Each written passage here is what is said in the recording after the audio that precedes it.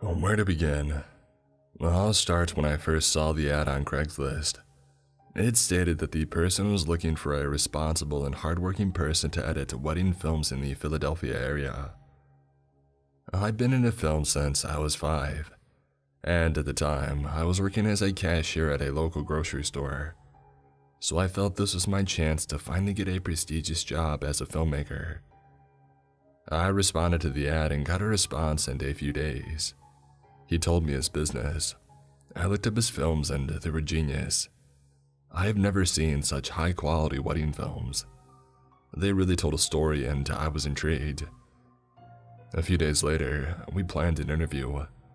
It was a dreary day when I went to his worn down apartment in a city that was local, but not in the best part of town. As I walked out of my car, he greeted me at the door. He seemed nice, but I felt a little off. I'm very good at sensing people's emotions, and for some reason, I couldn't sense normalcy in the way that he acted. It was strange.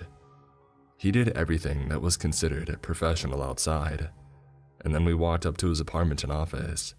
He was 23 at the time, a self made entrepreneur, a wedding film business. I remember one of the first things that he said to me If you work for me, I won't teach you just about video. I'm going to teach you about life. Being the naive 21 year old I was, I thought this guy was just a really good businessman. He sounded full of himself, but what boss isn't? I got the job and was ecstatic. I felt on top of the world working for one of the best videographers in the Philadelphia area. I came into work the next day and ended up working on one of those TV dinner tables with a computer on it and a rickety chair. I didn't care. I was doing what I loved and it was awesome. A few months go by and I started noticing his weird behavior. I remember a specific time when his sister came over to visit him, and I met her for the first time. She wanted to get to know me, so she kept asking me questions about my life and trying to make jokes with me, but he wasn't having it. This was the first time that I sensed that something was seriously wrong with my boss. As his sister would try to engage me in conversation, he would tell me to shut up and do my work. Apparently, a five minute conversation was too much time to be wasted. I quickly learned the editing program as I've edited extensively in the past. I eventually was editing one to two films a week, and despite my boss being sort of strange, I thought it was still the job for me. This was when the craziness had started. I started to learn the DSLR cameras. I began learning his basics of editing skills in his films.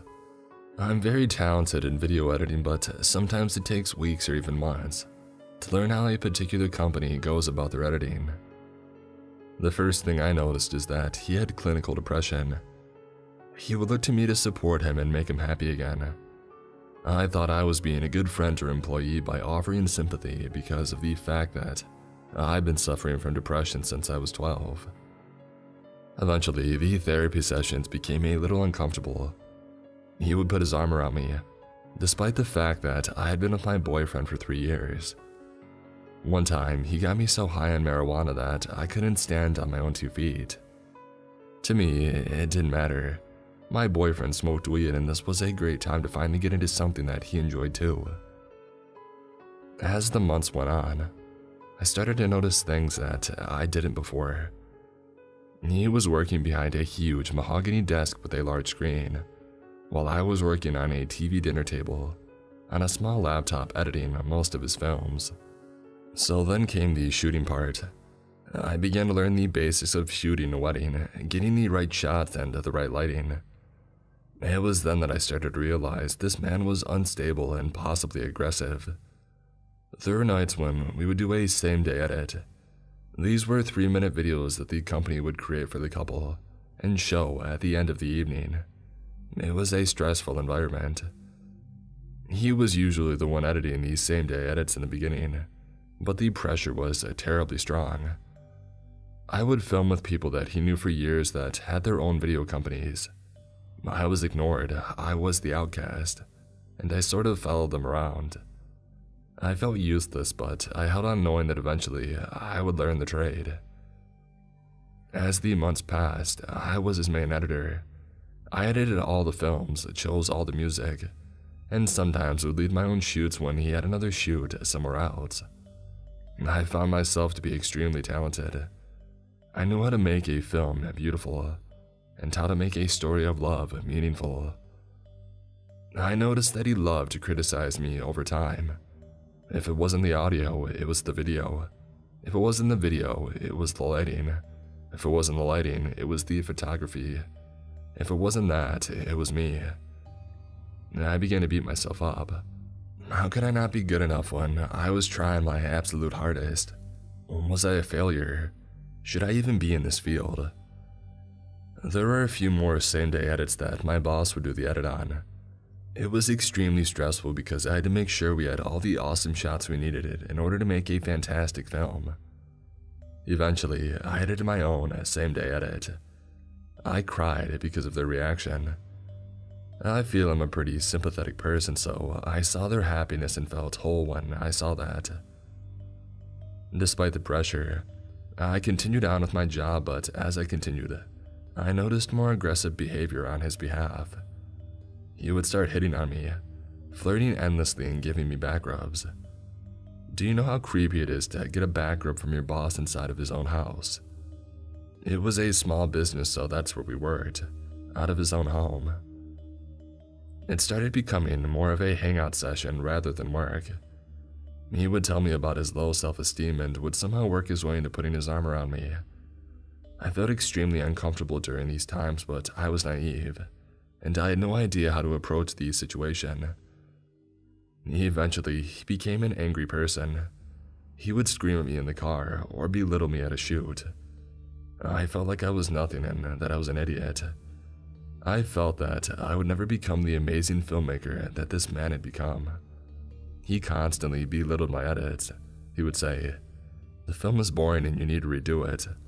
But all the while, he was on his computer surfing the internet, while I edited these films to perfection.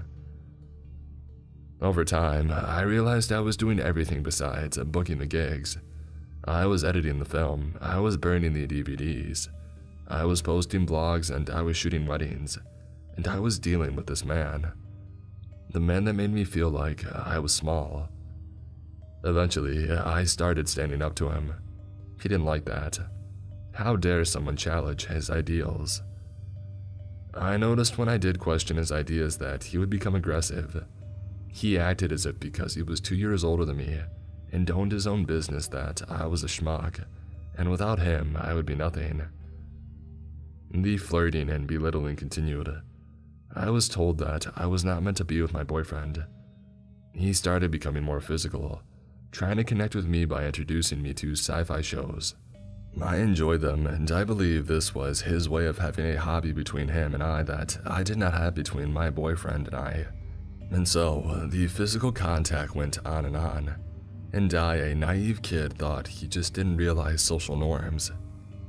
He was socially screwed up and had to read books about how to be a good person and how to persuade people to do things.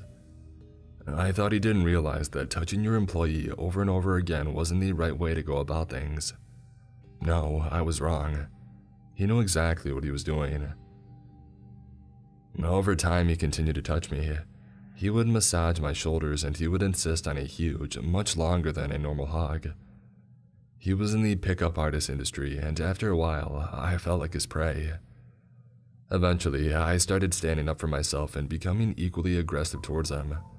I began telling him that I wasn't comfortable with his touching. I called him out on his BS. I told him his yelling at shoots was irresponsible and cruel. I mentioned that his personality was narcissistic because he wanted to know what I thought he was. I told him that he was socially messed up and that it was pathetic, that he had to read a book to understand how to be nicer to another human. He eventually accepted what he was, I think, because at this point, things started getting worse. There was an instance when I couldn't find the car where he parked to retrieve his cell phone. He was waiting at the front desk at his venue to figure out which room the bride was in.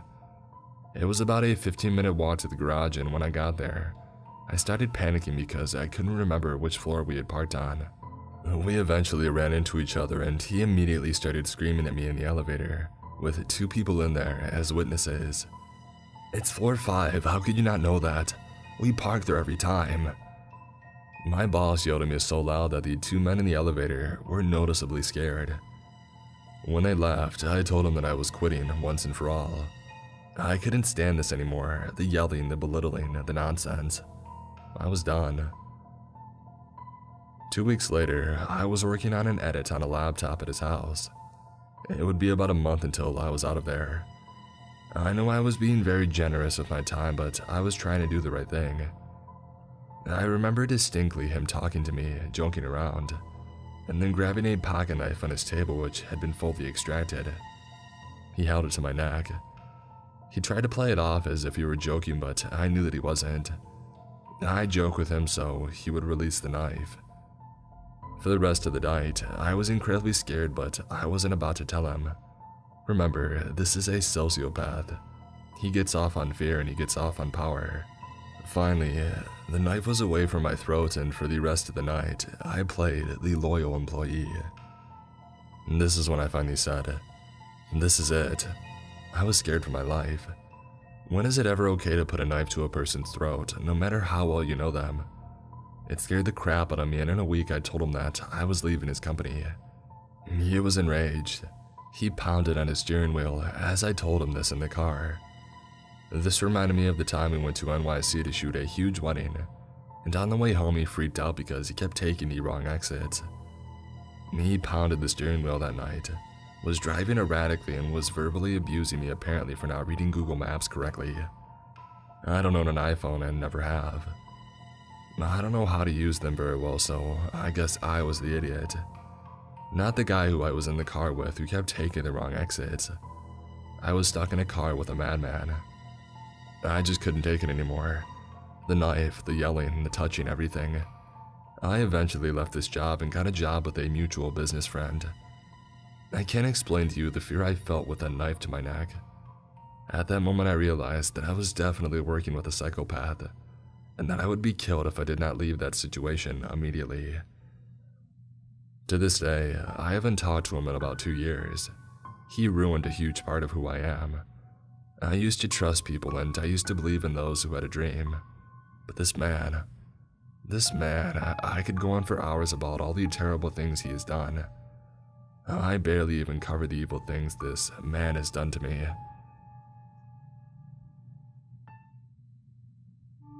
Some backstory.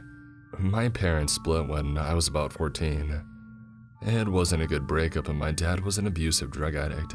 So, when my mom left him, she was in a really bad place. Her and my older sister kept taking her to local bars since my mom was depressed. This led to my mom becoming an alcoholic since my sister was well on her way to becoming one too. During one of these nights, she met a guy I didn't know much about him, just that they met him and his brother at a bar and now she was dating him. It went pretty fast and my sister would flirt with the brother to get free food and drinks from him. Around this time, I was about 15 and this dude just seemed off. He was probably early 40s or so and he was always going on my mom's dates with his brother. He just kind of hung around a lot. One day, my sister decided she wanted sushi and called the brother up to take us because she knew that he would pay. I didn't want to go, but we didn't have food in the house and I was hungry. We didn't have a sushi place in our town, so we had to drive to the city, which was about 30 minutes away. The entire ride, I just had this warning feeling in my stomach that kept telling me to get out of the car, that this was a bad idea. I was a giant ball of anxiety the whole 30 minutes. My sister sat in the front seat, completely oblivious to what was happening. Meanwhile, I kept catching him staring at me in the rearview mirror. Once we got to the restaurant, he sat himself directly across from me. He wanted to sit next to me, but I rushed to sit next to my sister instead. It was awkward, but my sister talked a lot, so I was kind of able to hide. Eventually, she got up to go to the bathroom, and then I was all alone with him. Almost immediately, he asked me if I had a boyfriend, and I said no. That's good, he said. You're too good for the high school boys. They're only after one thing. I just nodded, not knowing what to say. He then went on to ask if I liked Disneyland, and I said yes. He got excited and went on about how he would take me, but hotels were expensive, so we would probably have to share a room. It would just be us, so my mom and his brother could be alone. He said my sister couldn't come though because he couldn't afford to pay for us all to go. At this point, I was extremely uncomfortable, and I just wanted my sister to come back. She finally did, and he switched to just talking to her. She didn't notice anything was wrong or that he kept looking at me. Once we had finished, he took us home and invited himself in. I went to my room and I locked the door and hid. At one point, someone tried to open my door, but they stopped once they felt that it was locked. My mom and her boyfriend came home around then. I tried talking to my sister, but she brushed me off. They had invited us back to their house, and I wanted so badly to stay home, but they forced me to go too. Almost immediately, my mom and her boyfriend went to the room and left my sister and I with them. He got my sister drunk pretty fast and tried to get me to drink, but I kept refusing. It got to the point where my sister was almost blacked out drunk, and I was freaking out because once she passed out, it would just be us.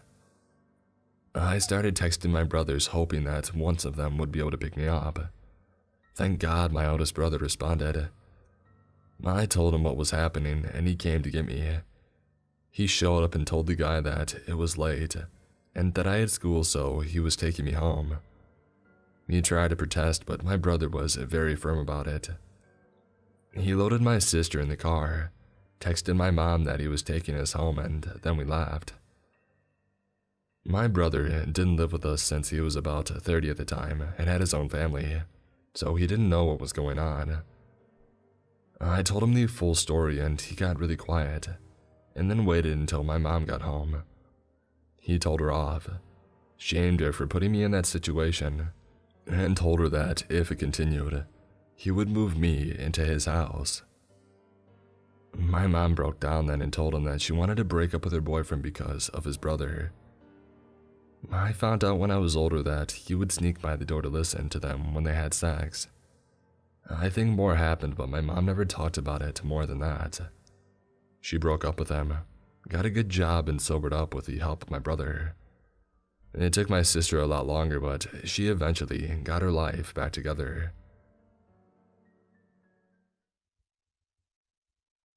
Okay, to preface this, here's a little backstory. At the time of this incident, I was 17 years old and a senior in high school. I rode the school bus sometimes when my friend didn't drive me home. This is what happened that day. I got off my school bus at my street and the stop was at an intersection between my street and the highway. My street isn't a big street, it only has about seven houses, and every person on my street is a business owner.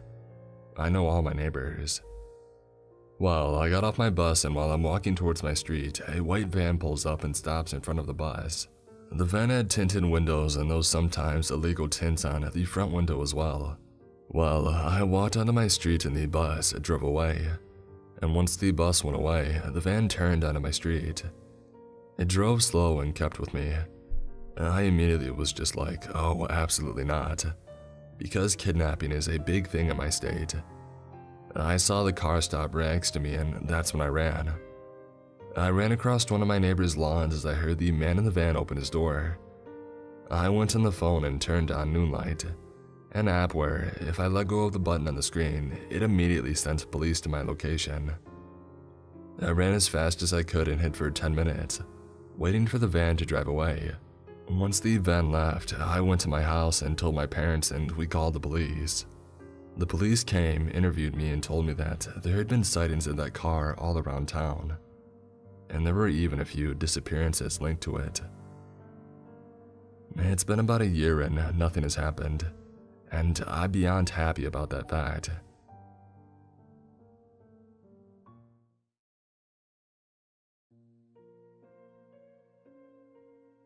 I'm a 30 year old woman living in Texas, and I've met my fair share of creeps.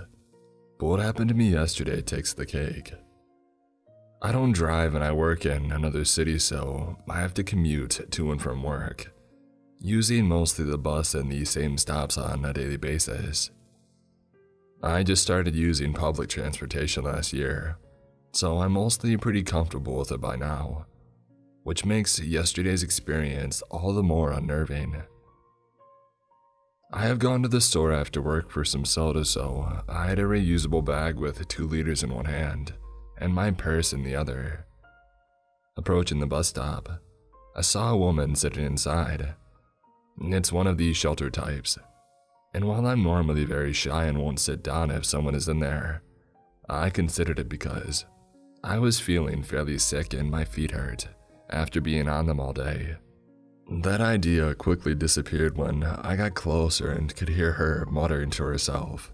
I did a quick glance over as I walked past and could see that she had her bag spread out over that side of the bench and her shoes were off. So I concluded that she was probably homeless and since her muttering to herself it definitely put me on edge. I walked past the stop to maybe two yards away or so and set the reusable bag down.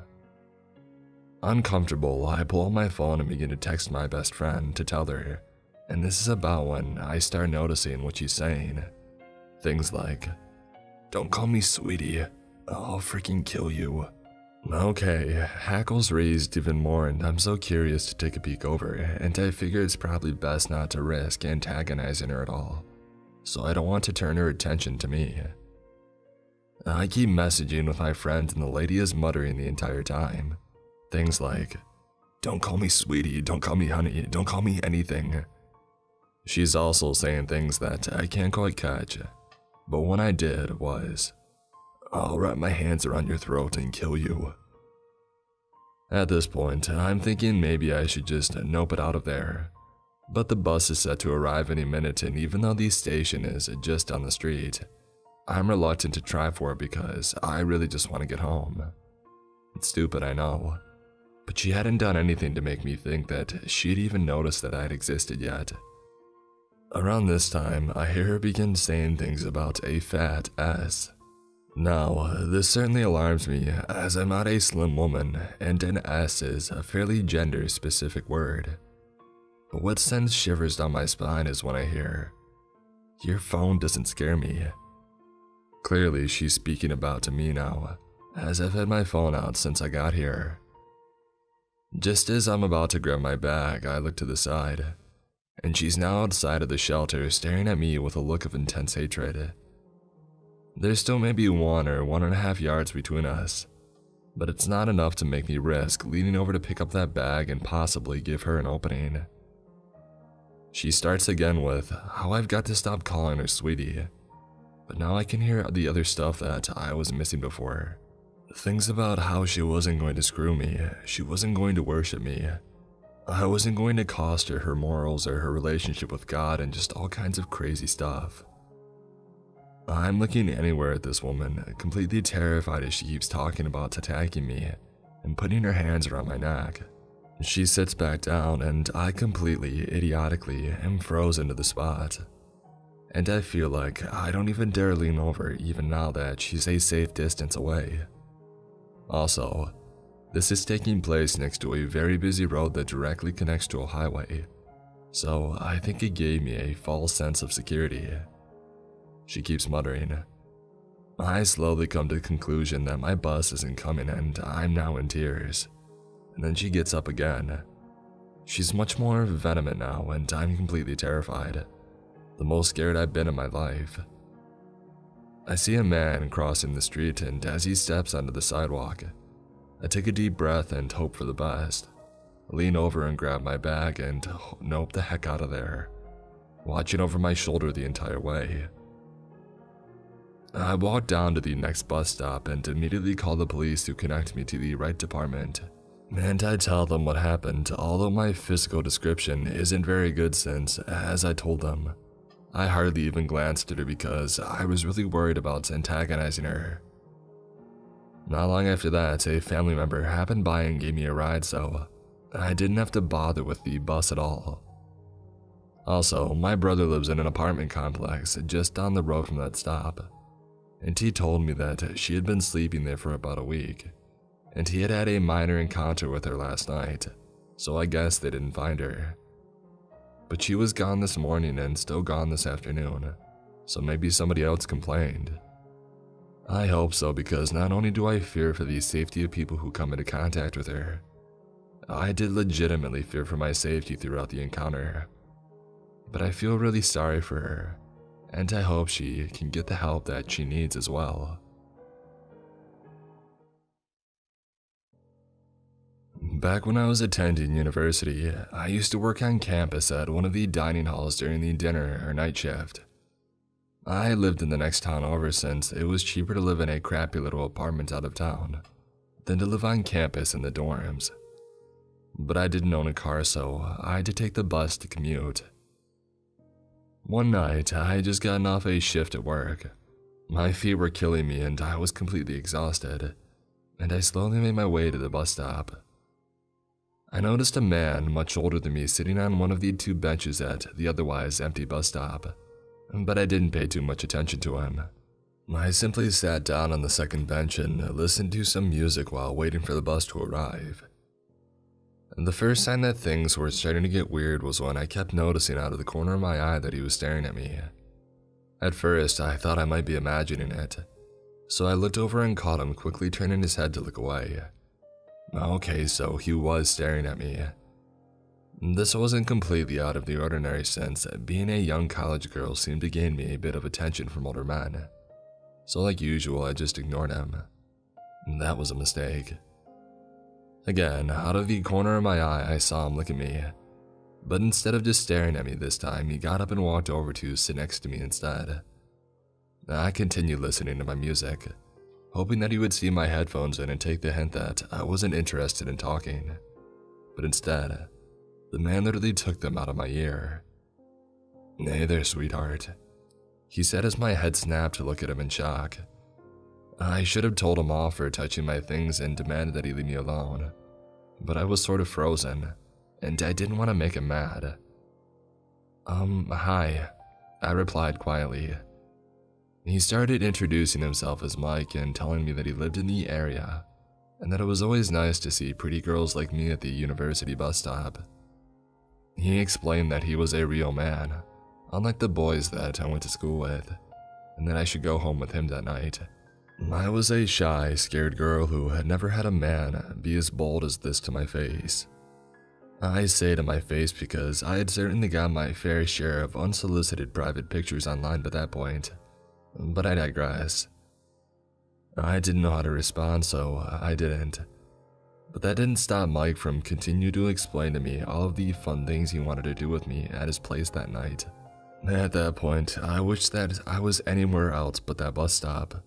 But it was just the two of us in the dark alone, as I counted these seconds until the bus would arrive.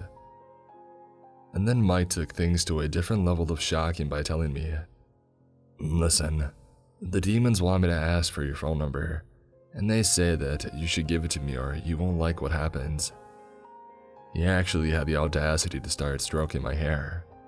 His hand was gentle, but I didn't want him touching me at all.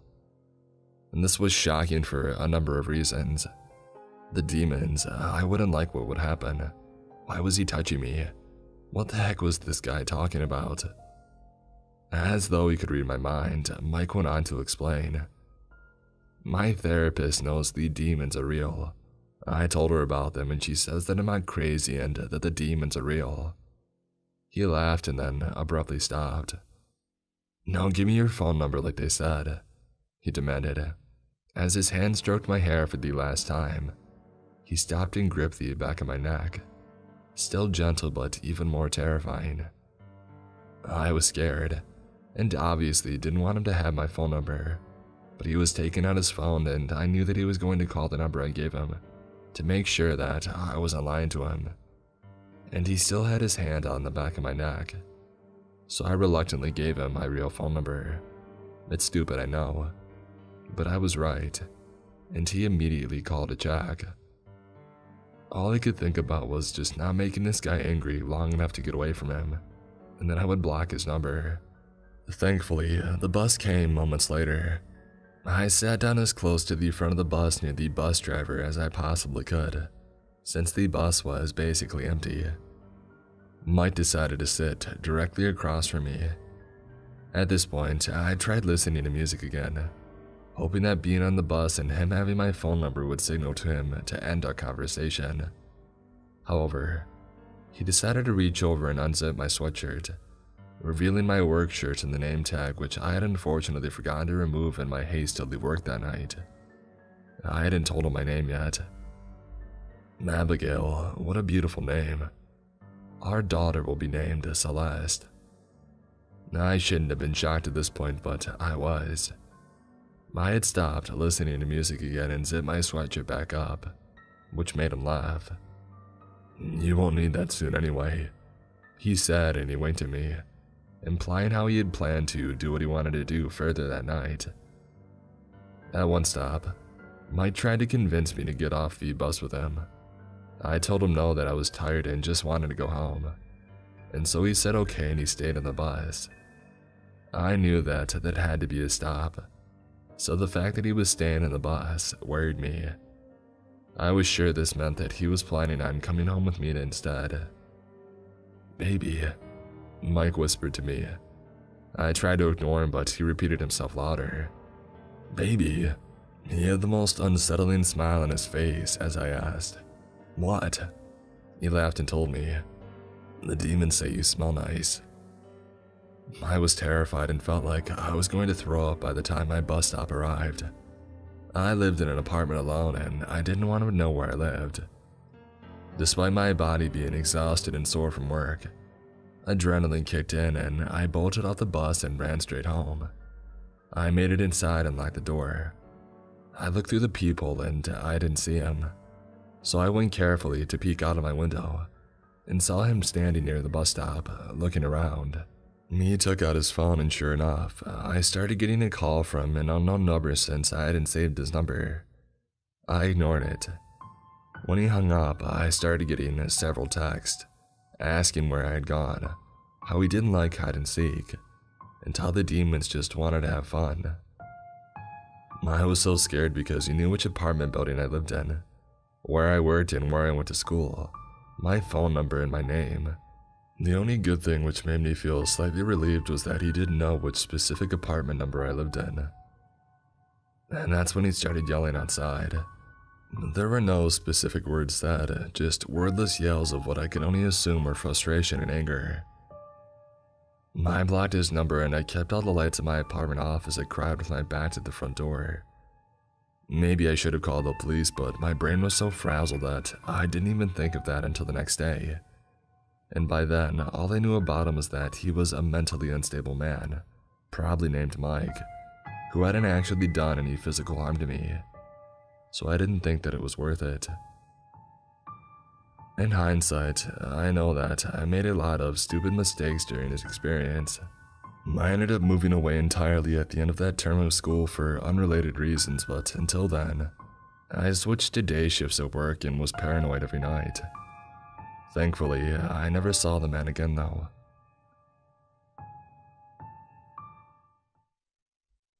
I'm not used to being alone, uh, first things first.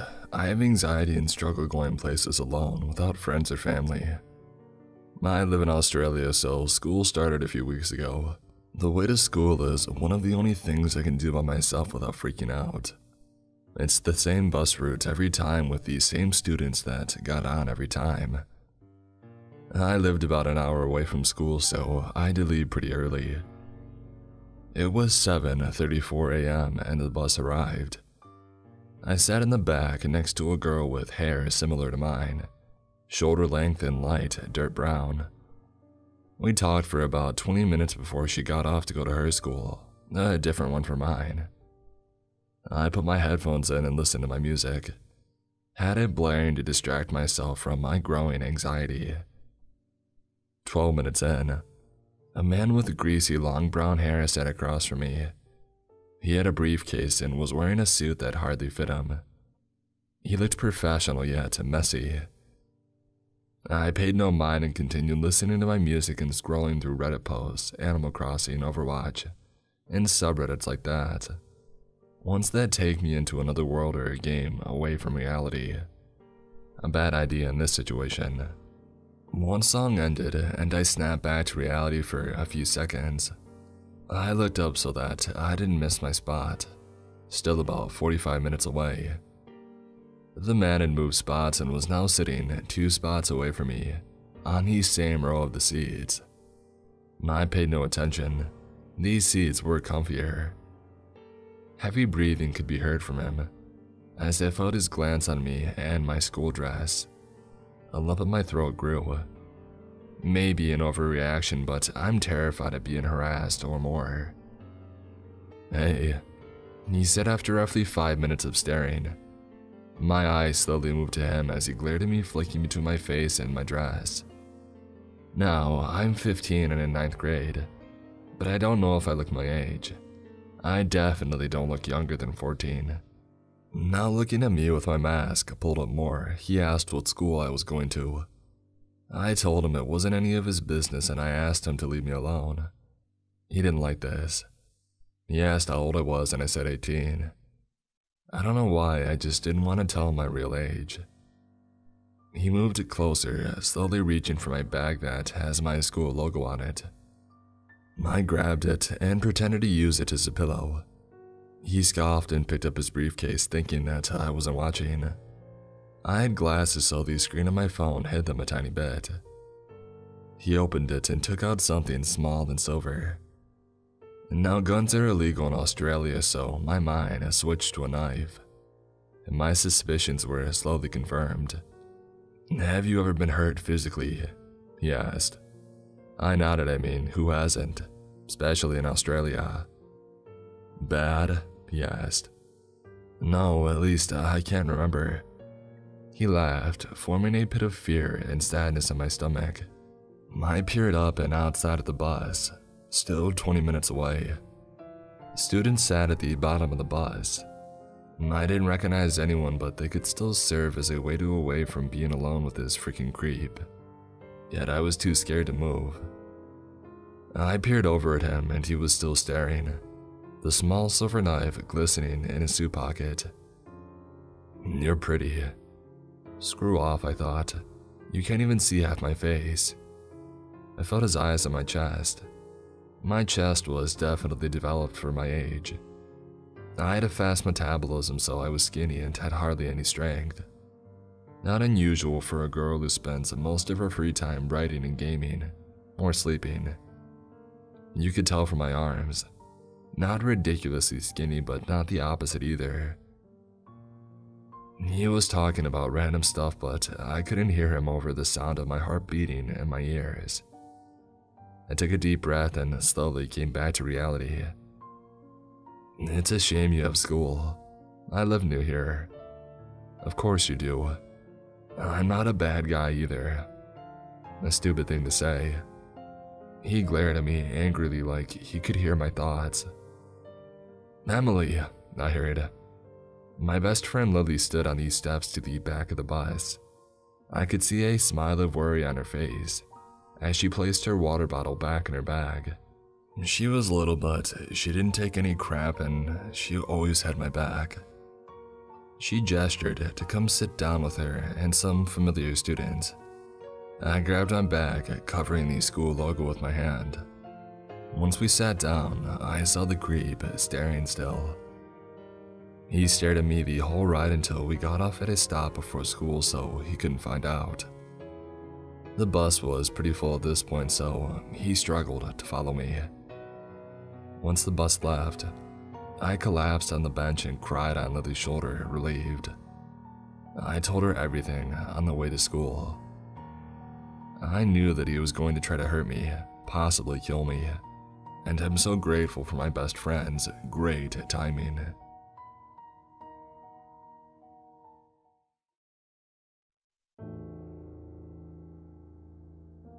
This happened a few years ago, and sometimes I still have nightmares where I didn't manage to get away. Let me start off by saying that I live in a pretty big city. Lots of bars and clubs, and I have experience with partying. I have been in blackout drunk situations, and this was not that. I no longer go out on my own. That night, I decided to go out with my friends bar hopping. I mainly knew only one of the girls that I hung out with on the regular. The other two were more acquaintances or strangers. I was very outgoing and I loved meeting people, so that was nothing new for me. We had a few drinks at a bar and continued on to the next one, having fun and great times. One of the girls I didn't know well pulled out the party stuff sometime during our second bar visit. I decided to skip it because I wasn't looking to get too effed up that night. My friend said yes, and she and the third girl went to the bathroom. The second girl, let's call her Barb, kept saying that I should go with the two others, but I declined and declined. She got a little aggressive, and I mean, after the third time, I declined. My friend came back just then, and Barb acted like nothing had just happened. We had some new guys join our group to flirt. I'm in a relationship, but my friend and Barb were not. By then, the second girl had left already. Barb and my friend were starting to get pretty messed up. I went to use the bathroom and to text my boyfriend that I was coming home soon, but I saw that my phone was dead. When I came back, the guys had bought us all shots. I was still pretty sober, so I declined the shot. Barb shoved the shot into my hand, and to avoid a scene, I took it. I started to tell my friend that I was heading home, but one look at her face and Barb and I saw that they were out of it. I was starting to feel pretty woozy myself. So I grabbed my things and their things and started shoving them to go. The guys that bought the shots were protesting, but I wasn't getting resistance from the girls. I hailed a cab. My phone was dead, so no Uber. And I remember putting the girls in the back and telling the driver that we were dropping off my friends at their houses and then going to my address. And then blacked out. I remember dropping off my friend, and then a blackout, and then I was alone with that driver. I was in the front seat and he was holding my hand. I looked around disoriented, took in the sight of him holding my hand while driving. Like my boyfriend would, I saw my wallet in the center cup holder. The meter was off and was telling me that he was taking me to a romantic place. I told him no, please take me home, that my boyfriend was waiting at home. He said something along the lines of, Stop talking about him, I told you. Which to me in hindsight indicates that I had told him already many times. He said he just wanted to pretend for a little and he held my hand tighter. I didn't want to trigger a violent reaction, so I left my hand there and started to reach for my wallet with my other hand. He saw, let go of my hand, and took my wallet from the cup holder to his other side where I couldn't reach. I was still woozy and I blanked out again. When I came to my senses, we were parked near a very known romantic and touristy location in my city. Normally, this place is packed, but not that night. It's pretty far from anything else and it's surrounded by woods. I started to cry and tell him to please take me home, that I wanted to see my boyfriend. I won't tell anyone, please. He looked at me and said, I will take you home if you pretend you're my girlfriend for a little while. I sat there in shock. I wished my brain wasn't addled. I wished that I had never gone out. I wished that I could see my boyfriend for the thousandth time that night. I said okay and he smiled. Put my wallet back in the cup holder. I took it slowly and put it under my leg. He took my hand and looked out the front window out into the little lake that he had brought me to. He started talking and I don't remember what he was saying. I was trying not to black out again. I waited for him to look at me and asked again, Please take me home. He said if I let him give me a kiss, but I said no. He looked mad for a fraction of a second and squeezed the hand he was still holding. He leaned in fast and kissed me anyways. I kept my lips sealed tight against him, ready to fight, ready to bite and scratch and to not go down easy. He let go of my hand and backed away, he started the car and started our way back to civilization. I was crying as quietly as possible, trying not to be heard so he would forget I was there and want to touch me, to hold my hand. I waited until we were near enough people that I could bolt out of the car and find another way home. I think he saw me grabbing my wallet from under my leg and knew my intention to jump out at the next red light. But he snatched it again and said that he would drive me. I just nodded, but by then, I didn't care about the wallet, my phone, or anything else. I led jumping out. No matter what, I was going to get home. I didn't know what time it was by then, but I do know there was almost no cars driving in my usually busy city. No buses, no people, I didn't care anymore. He stopped at red light, I unlocked the door and I yanked it open and ran. I didn't look back, but I heard a car appeal out of the intersection. He was running too. My phone was still dead, no wallet, so no money, and I was really far from my house. I was still drowsy and crying. I had no idea of the time and I started walking home.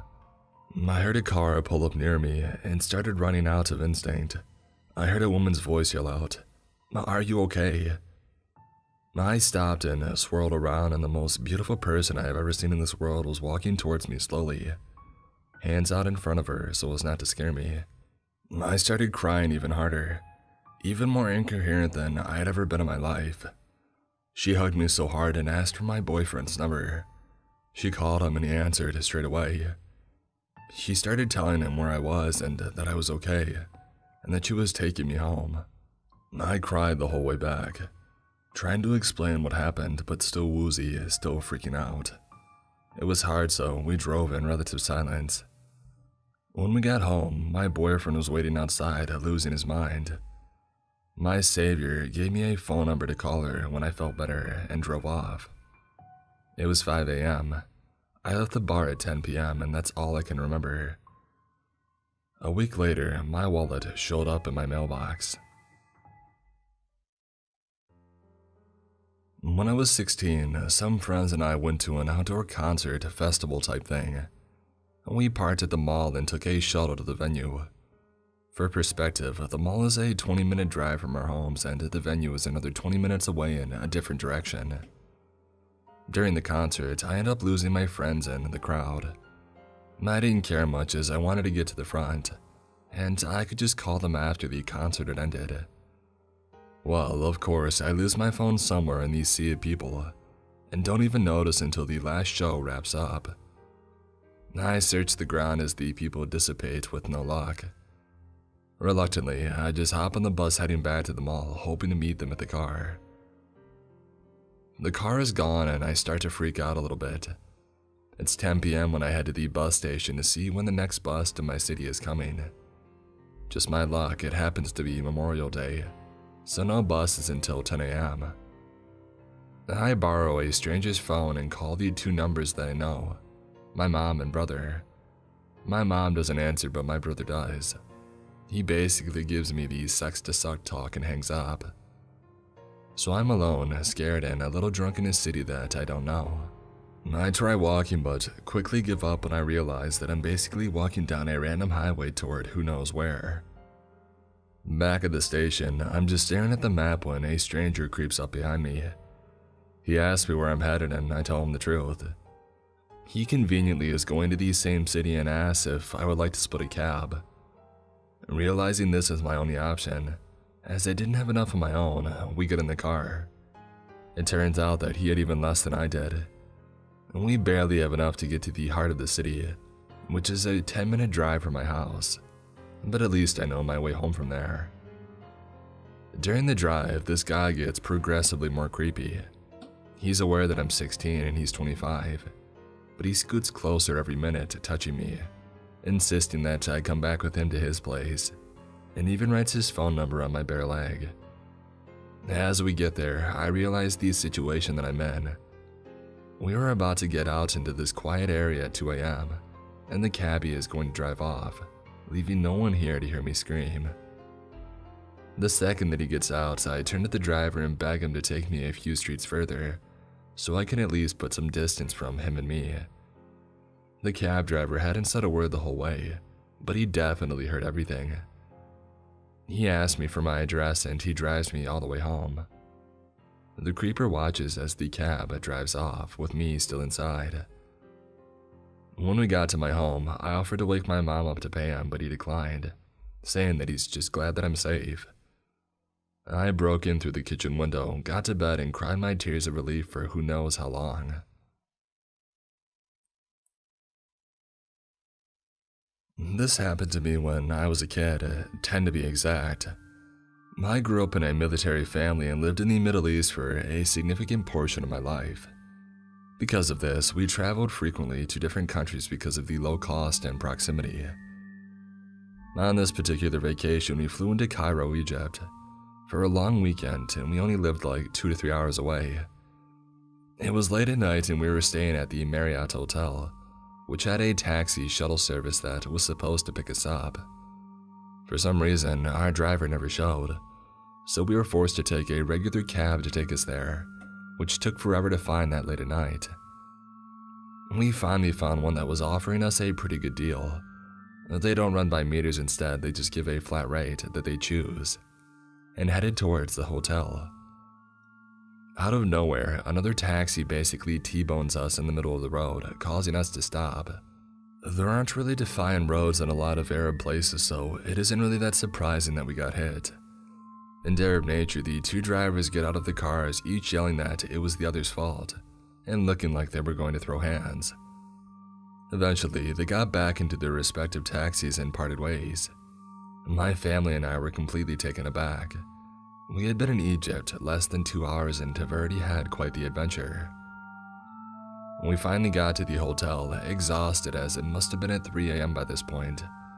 Our driver helped us get all of our bags out and get settled, and told us that he felt so bad about the car accident that he offered to pick us up the next morning and take us to the Great Pyramids, which was on our agenda for a super cheap rate. My parents agreed and decided on a time for him to come, though I can't remember when. Flash forward to the next morning. Everyone is ready for the day, excited to see how crazy it was going to be. Our driver was outside waiting for us, leaning against the car like someone in an old movie would right when he said he would be there. I'm a blonde haired, a blue eyed girl that had a deep tan at the time, and being in Egypt, that was a rare sight. When the driver saw me in the daylight, he gave me the creepiest, most unsettling look that sent chills down my spine, even as a 10 year old. I knew something wasn't right with him. Nonetheless, we got in his taxi and headed towards the pyramids. He continued to try and talk to me and joke around with me the whole ride something I found to be extremely creepy and bold since both my parents were in the cab. We get super close and there's an entrance that people can go through and walk the long distance to the pyramids. And there's an entrance that taxis can go through. You have to pay to see them, it's strange but true. Our driver keeps making jokes about my blonde hair and blue eyes and bringing up that he could get me into the pyramids for free, so my parents wouldn't have to pay the extra ticket price. We laughed it off and my parents paid him and said thank you and began to exit the taxi. I don't remember how it happened, but at some point after I got out of the car, he did too, and he directed me towards his trunk. I was confused and thought that we had forgotten something, so I stayed behind as my parents walked towards the gate to get whatever I thought we had left. The driver pops the trunk, but there wasn't anything in it. He grabbed my arm and put a hand on my back, trying to push me into the trunk and said, I'm getting you in for free, over and over again as I resisted. Naturally, I freaked out and screamed out to my mom and dad at the top of my lungs, terrified. When they heard me and noticed that I wasn't behind them, they started sprinting back to the car. When the driver heard me scream, he immediately let go of me, closed the trunk, and drove away just as my parents started to run to me. I was crying my eyes out terrified out of my mind knowing that a taxi driver tried to put me in his trunk and drove away the second that I screamed for help. It's scary to think what could have happened to me had he been stronger and more prepared or faster. He is the reason that I am still terrified of taxis, Ubers, Lyfts, and any car service of that nature.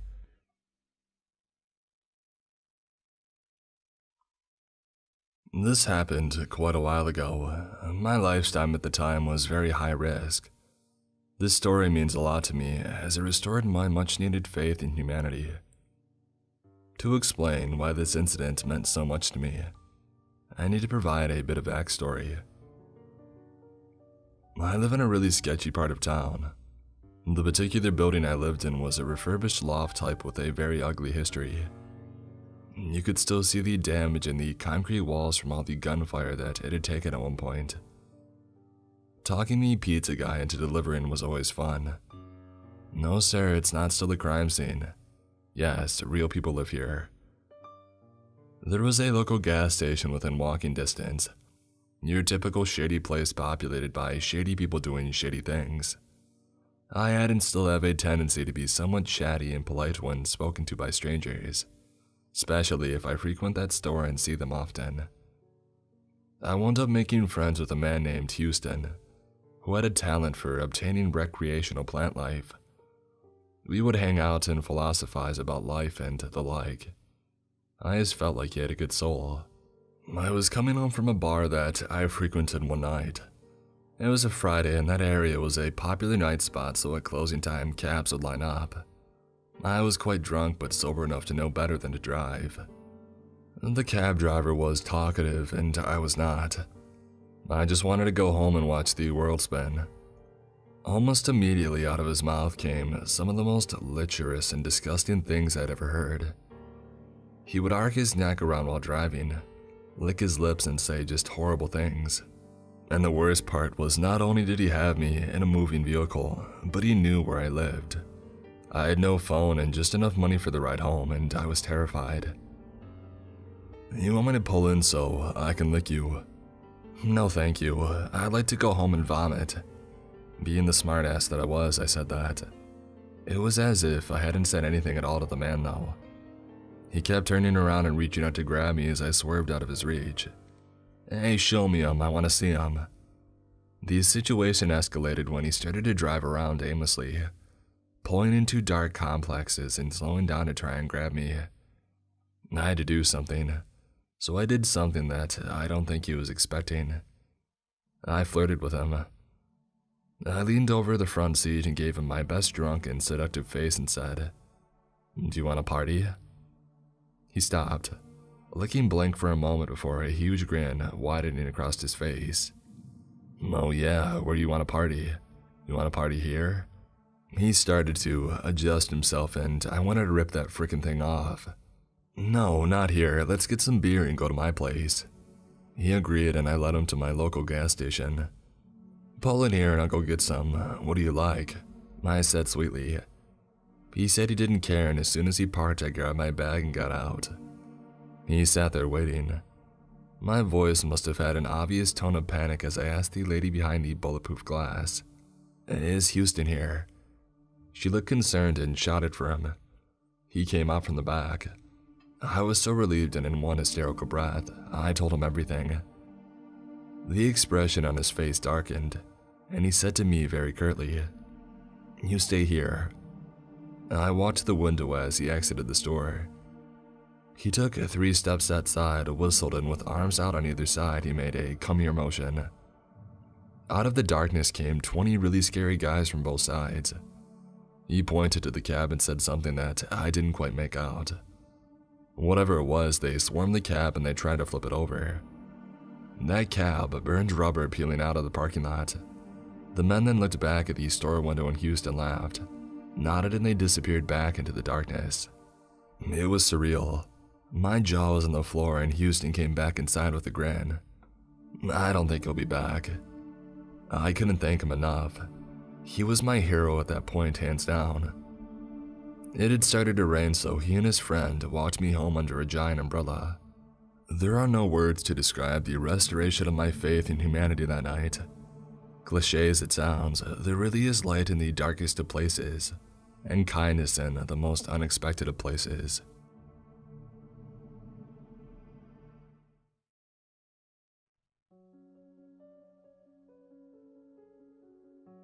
I'd like to preface this by saying that not all mental health professionals are bad people.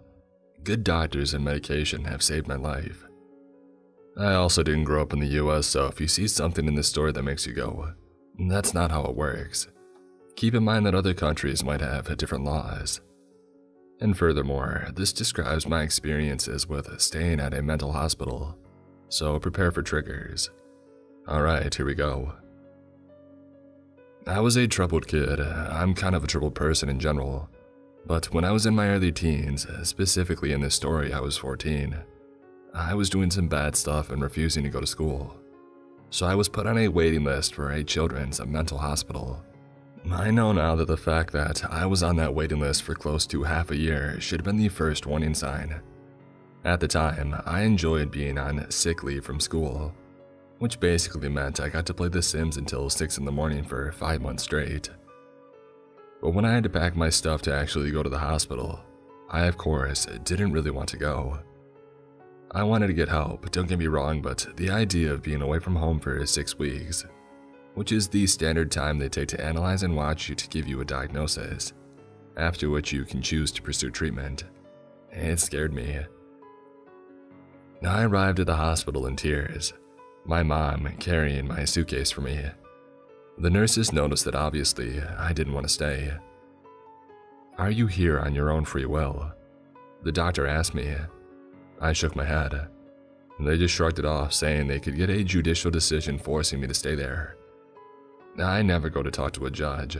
I never got to defend or explain myself. And as far as I know, my parents didn't talk to a judge either. A judge glossed over my medical history and then signed a piece of paper that forced me to stay in this place for six weeks. The contents of my suitcase were searched, and I remember feeling like I had just arrived in prison. The first terrifying thing happened to me on my first night. I had scratched open some of my old scabs, and when I went to the nurse to ask for a bandage, everyone went nuts. In their eyes, I had purposely harmed myself, which they couldn't prove but okay. So, what do you do when a 14 year old mental patient does this? You talk to her, you try to help.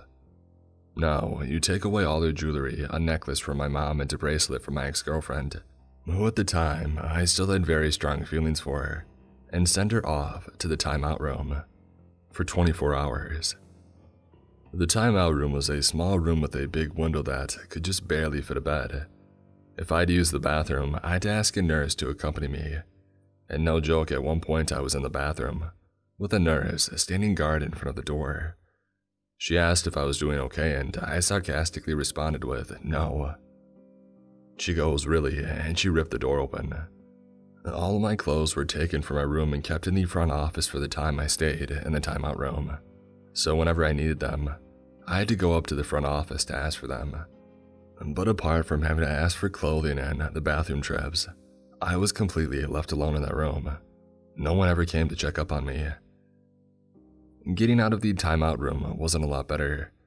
For the first week or two, I had bad stomach problems. I would get up multiple times a night to use the bathroom, which, by the way, you didn't have one of in your room. You had to walk down the hall to use it. And because my stomach kept me up all night, I would often not get enough sleep and end up sleeping through the day, which led to me not partaking in group activities. And instead of, I don't know, waking me up, I was yelled at, and I quote, if I was up all night roaming the halls, I would be tired too. And because I didn't partake in group activities, I couldn't earn outside time. Yes, I had to earn going outside. Even just sitting on the front steps with a nurse right next to me had to be earned. So, for the first six weeks, I was effectively locked up, except for school and weekends where I was allowed to go home. It was blatantly obvious that none of the nurses really cared about any of the patients. They weren't even real nurses, they were more like prison guards. One of them straight up looked like they were homeless. Another one sounded like she had been a five packs a day smoker her life and all. And I mean all, all of them were chain smokers. Every free second they had, they would use it for smoke breaks. Right outside of the door, too, with the doors open. So that all the other kids who were currently going through nicotine withdrawals could smell the cigarette smoke. Within six weeks of staying at the mental hospital, I saw a psychiatrist at Whoopin two times. Once for a general introduction and once for an IQ test. Anyone who's ever struggled with mental illness probably knows the sentence like, just pull yourself together or get over it. They're the least helpful things one could say to a mentally ill person. I've never heard it that much in my entire life. There was one instance where another patient, who was deathly afraid of spiders, came running out of her room in a borderline panic attack because she had woken up to a spider directly in front of her face. And you know what they told her? Don't be such a baby, it's just a spider. They gave her a broom for her to get rid of the spider herself, which obviously she couldn't do. My roommate and I ended up helping her out. Both of us were scared as well, mind you. But possibly the most outrageous thing happened on my second to last day. Someone had told the guards that I had tried to smuggle in something. So they pulled me out of breakfast and searched my room top to bottom. They didn't find anything, but they found one laying on the floor in the hallway, and it was even still in its wrapper. I wasn't the only patient that did this. As a matter of fact, I don't think there was a single patient who didn't do it. The blade could have belonged to anyone, they had no proof that it was mine. But of course, it was deemed that it was mine. And despite me not having any new cuts on my arm, I was thrown into the timeout room for another 24 hours. Literally my last 24 hours. And they paid so little attention to the timeout room that a fellow inmate was able to slip a letter inside the door so I could take out my frustrations. In case any of you were wondering where my parents were in all of this, my mother wanted to get me out of that place as soon as she had heard about the timeout room. But since my parents had joint custody, she needed my father to agree to it. And my father deserves a story like this for himself, but to make it short, he hadn't talked to me in over four years but was somehow convinced that I needed help and refused to get me out of there. My final diagnosis from that place narcissistic neurosis.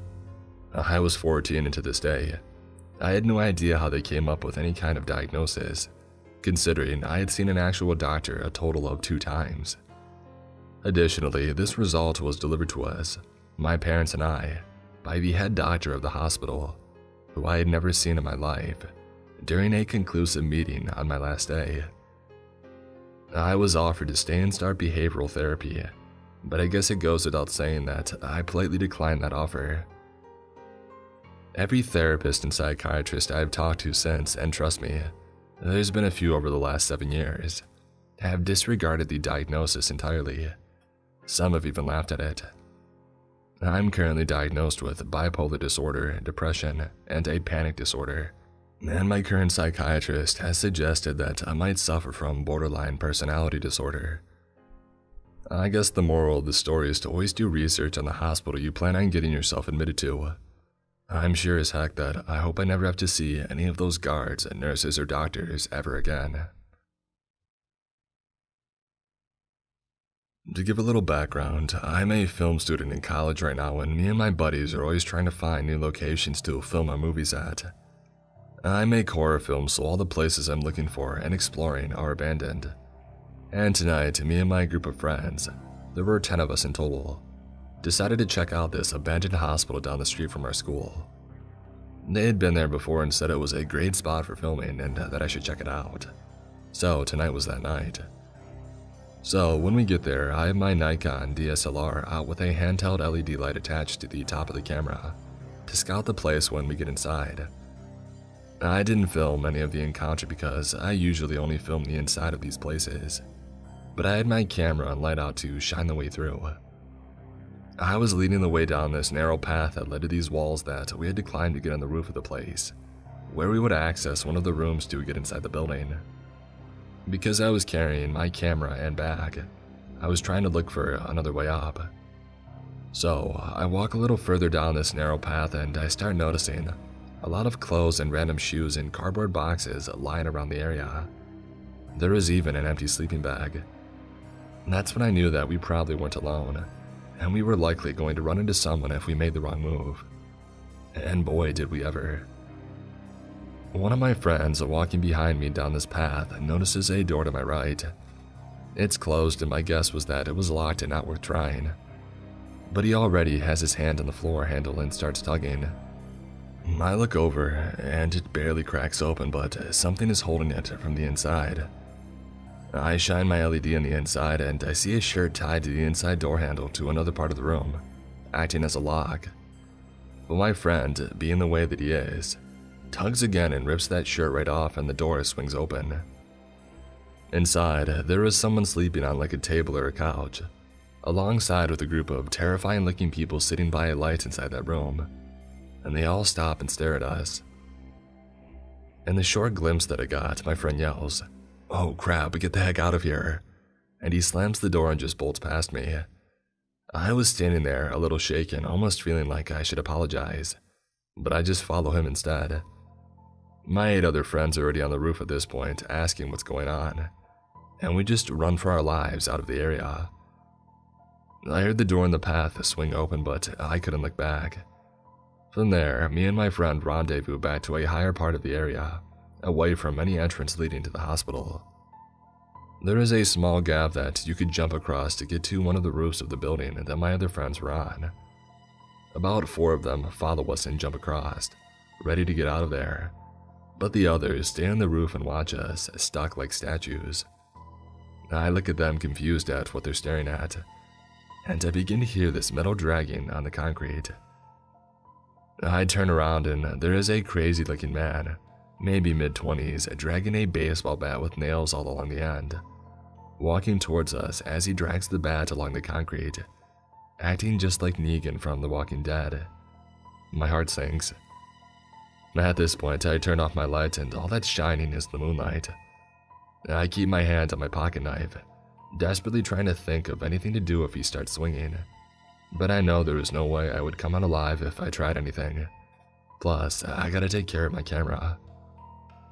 So he walks closer to us, and the first thing he says is, You're gonna want to keep that light off. And everyone is silent. I'm practically shaking. He then starts circling around us as he says, You guys are never gonna come back here, right? He walks past me and sees the camera and raises his bat, saying, And you're gonna put the camera away. And I just barely say, Yeah, it's off. He looks over to my friends watching in the roof past the gap and he points to them. And he says, Jump. And they stand silent. The guy says again, Jump across right now, just run and jump, you'll make it. Keep in mind, the gap doesn't look that bad, but the drop is fatal if you don't make the jump. And my four friends are all staring down at the drop, fearing what could happen.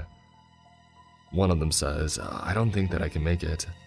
And the Negan guy replies, Run and jump, or else you're gonna regret it. So my friend steps back, runs, and barely makes the jump. From there, one by one, the other three make the jump across, all while the Negan guy is standing right behind us with his bat, dragging it along the concrete. Once we all got across, he says to us, You're never gonna come back here again, you understand. Then we awkwardly apologized and run away back to our cars in the distance. I get in my car and look back at the area, and he's still standing there, watching us with his bat as we speed off.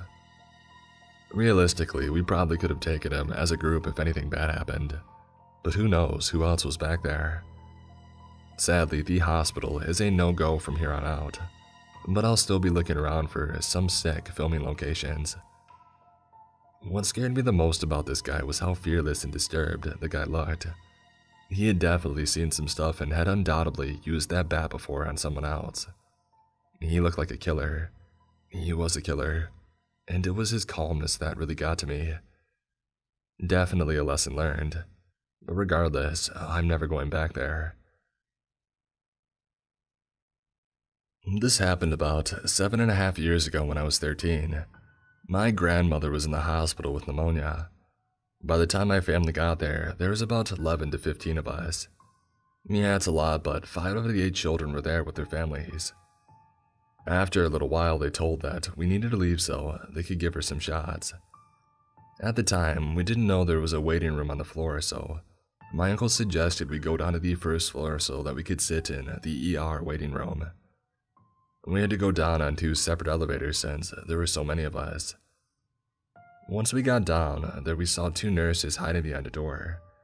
When we asked what's wrong, they said nothing. You can still go in there. We walked in. It was about 2 p.m. on a Sunday. There was no one in there and the lights were off. Yes, in retrospect, we should have just turned around and walked back. But like all people in horror movies, we didn't think anything of it. We met up with the rest of the family. And that's when we noticed two other guys. The first man was sitting with his hands behind his back. The second one was standing behind him, holding his wrists together. The man sitting was staring daggers right at me. After about 10 minutes of sitting and staring, A third man in a hospital security uniform came up and asked if we saw anything. Visibly confused, we said no and they told us that we needed to leave. We went back up to the fourth floor and found the waiting room. It was right next to the psych ward with a sign that said, Stay clear. There's a high chance of flight risk. Now you might be thinking what's so scary about that story. A random guy was staring at a 13 year old girl. Well, a little while later we found out what had happened. The man sitting with his hands restrained was a junkie looking for a quick fix. He had walked in and was told that he couldn't get any drugs without a medical reason. So he pulled out a knife and stabbed the woman at the reception in the neck. Why we were allowed in the room with this man while the hospital was supposedly in lockdown, I have no clue. I also have no clue where the police were during this whole situation. This story does have a kind of happy ending, for the woman at least. About two years ago, this incident was brought up at a family gathering. My cousin said that the woman did survive. She no longer works for the hospital and has a lot of difficulties resulting from her injury, but she was working as a secretary for a school.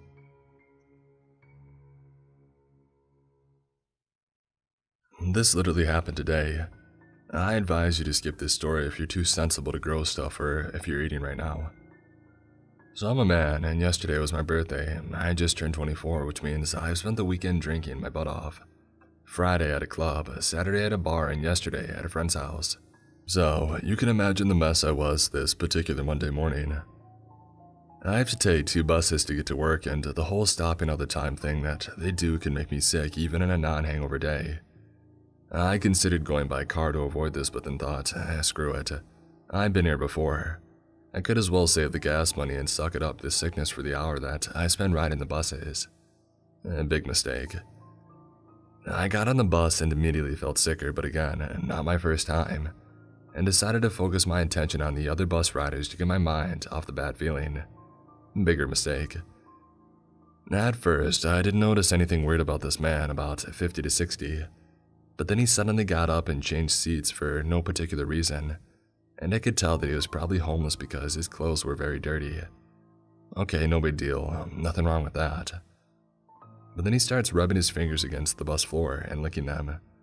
He smiled as he did this, and I noticed that he had a few to almost no teeth. The scene combined with my hangover made me extremely unwell. I thought it couldn't get worse, but he got up again and started picking whatever pieces of dirt and garbage on the floor and eating them. He then got to the back of the bus and started maniacally laughing, which honestly creeped me out. I then decided to close my eyes to avoid seeing whatever he was doing next, but I had to open my eyes occasionally so I didn't miss my stop. When I saw the spot before mine, I got up, and so did he. As expected, he didn't smell the best, and I defied my urge to vomit with him standing next to me. I avoided looking at him, and when the bus finally stopped and the doors opened, he went to the bus's garbage and did the same thing. I couldn't contain myself any longer, and as I stepped out of the bus, I upchucked. I didn't go full blast toys, so it was just a little bit, and the rest, as you can imagine, I swallowed. I then looked up at him and he was smiling.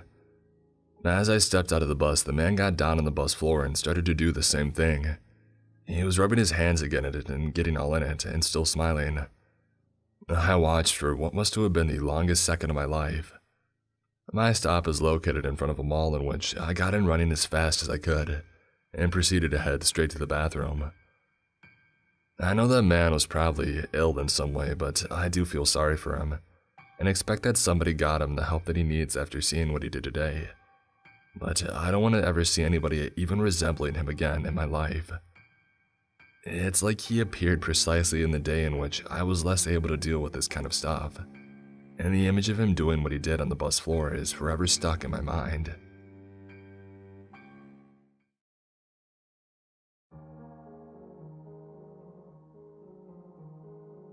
So my fiance and I had been on the lookout for a kitten to accompany our three-month-old kitten that we have already. We searched and searched until one day he said to me, Let's look on Craigslist, so I did. We found the perfect one, but the only problem was it was two and a half hours away from where we lived. I inquired about it at around 10.30 p.m.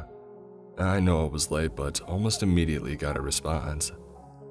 She sounded very nice over text and asked to see where I lived, so that we would feel settled about the kitten living with us. She also insisted on going to their house. I know, I know, I should have just dropped it then. But at the time, I thought nothing of it. So I sent them a video and we set up a time for the next day to meet up. The next day came. I wasn't going to take my fiance, but he insisted on coming with me because he wanted to be there just in case, because Craigslist is known to be sketchy. So we drove the two and a half hours all the way there. As we were on our way, I was messaging this girl that we would get there on time, and she responded, Great, I'll see you then. When we arrived at the home, me in the driver's seat and my fiance in the passenger seat with the window down. I texted the girl and got no response. I called and no response. I ended up calling five times and texting in the course of an hour and got nothing back. I went up to the house and knocked on the door. Nothing. There was a car in the driveway but no response from the number or the door. We got there at about 6.30 and waited until almost 8, but there was nothing. A neighbor came out asking what was wrong, and I said that I was here to inquire about a kitten, and she said, A kitten? Yeah, the one that was in the ad on Craigslist. She said, No one has kittens in this home though. I showed her the ad and she said, Oh, I do know them. They're very sketchy people and they don't own any cats. I just helped them move their furniture yesterday. Well, on their ad it says that they have to get rid of their kittens since their new place doesn't allow any pets. That's impossible. I have a dog and so does the next door one over. I immediately found this creepy and assumed the neighbor was also in on something, since it was too creepy and I was feeling anxious. I thanked her and left along with my fiance. Literally immediately when we pulled out of the street, I got a text from the girl saying, I'm just getting your messages now. Something must be wrong with my phone. Did you still want to see the kitten or no? I didn't answer and we headed back home. What I don't understand is they didn't get any money from me, but they asked me to show up not knowing that I would be with my fiance. I had a bad feeling about it. What did they want from me? Okay, so here goes. In early 2014, I was around 18 and started browsing the world of Craigslist. I responded to an ad in the personal section and started texting this woman. Now, being 18 and unfamiliar with how Craigslist worked, I didn't see any issue with meeting up at a hotel. I also didn't see anything wrong with her asking for donations. Again, 18 and stupid. I figured donation meant optional. Again, stupid I know, but just to be clear, she never gave me a price nor did I tell her that I had money for her. So I set up a time to meet her. I left my house to head to my GED class as usual, but walked to the hotel instead. It was pouring rain and it was warm out, so by the time I got there, I was all hot and sweaty.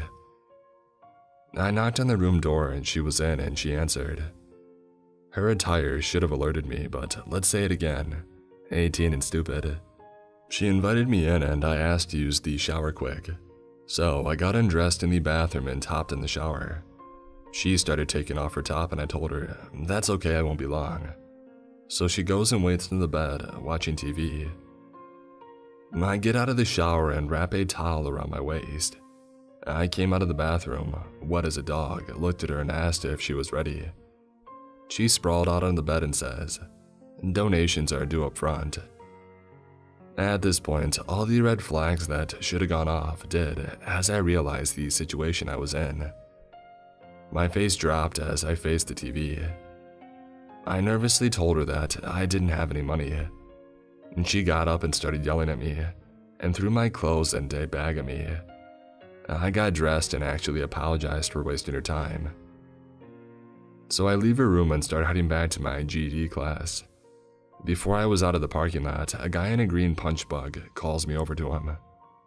I tried to ignore him and walk past until he shouts to get my attention. So I walk up to the driver's side of this guy's car and he starts talking to me. Now, this guy looked sketchy and I just figured he was the woman's pimp. So he's talking to me with his left arm up on his door, and his right arm down at his side, holding a freaking pistol. At this point, I'm almost certain that I'm going to get shot. He says to me, So why would you come here knowing that you don't have any money? I explained as calmly as I could that I wasn't aware of the situation. This guy pulls his arm up a little to show me his gun and he says, I have messages between you and her saying that you had money for her. Now, like I said earlier, I never told this woman that I had any money. So this guy decides to lower his gun and says to me, You're lucky you came to one of my girls.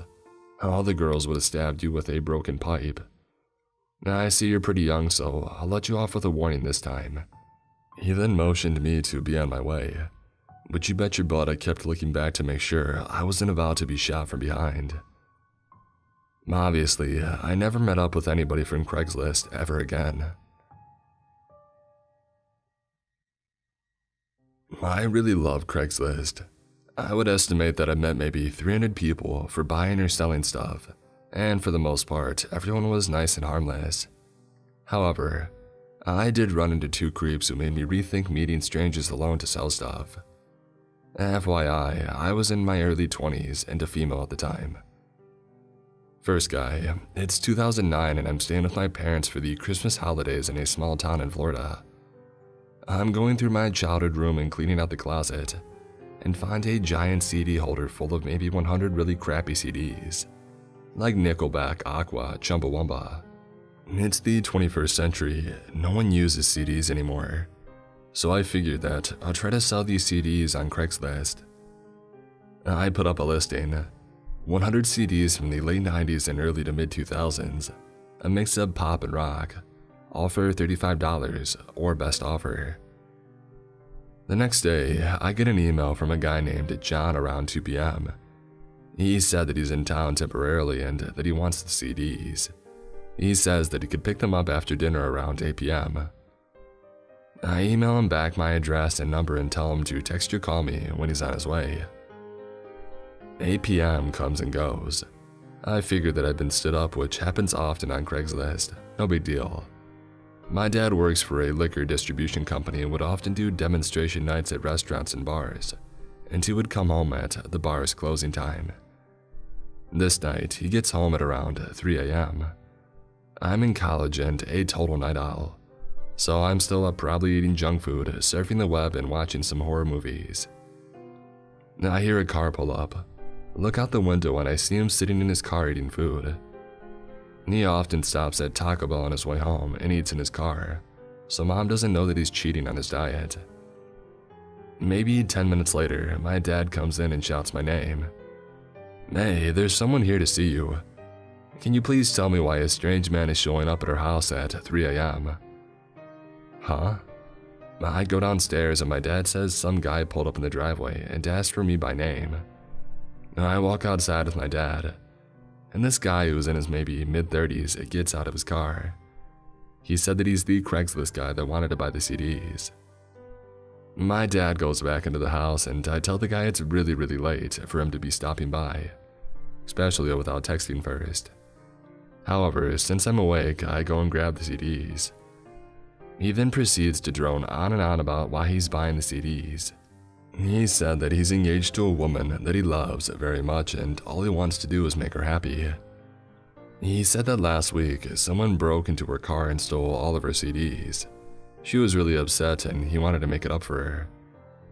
He looked on Craigslist and found my listing and was really excited because I had a bunch of the CDs that she used to have. The weird thing is, I didn't list any of the artists or bands because I was lazy, but I didn't think about that at the time. Anyway, he said that he was getting it for her as a Christmas surprise. He said he was staying with his future in laws somewhere nearby, and that their family barbecue ran really late, which is why he never made it to 8 p.m. By this point, I've lost interest and say something along the lines of, That's sweet, next time you should probably call or text the Craigslister instead of just showing up. I hand in the CDs, he hands me the cash, and I go back inside. Three days later, I started getting messages from an unknown number. Hey, I don't know my way around this town. Care to be a tour guide? I could really use a massage. Where can I get a good one in this town? You're Asian, do you do it? Would you take $40 an hour for a one hour massage? Happy ending. Me finally, who the heck is this? Oh, sorry, I bought the CDs from you the other day. I didn't respond. I show my friends that night and we laugh it off. And then the next day, I get more messages.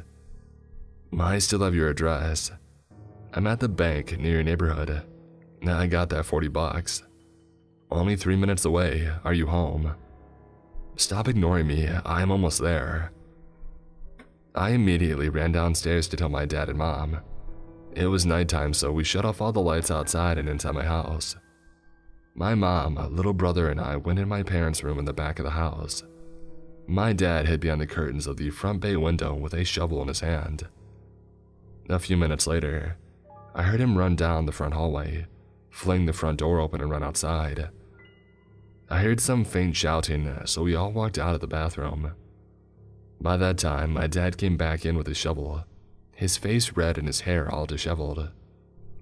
Apparently, the guy came driving down our street really slowly.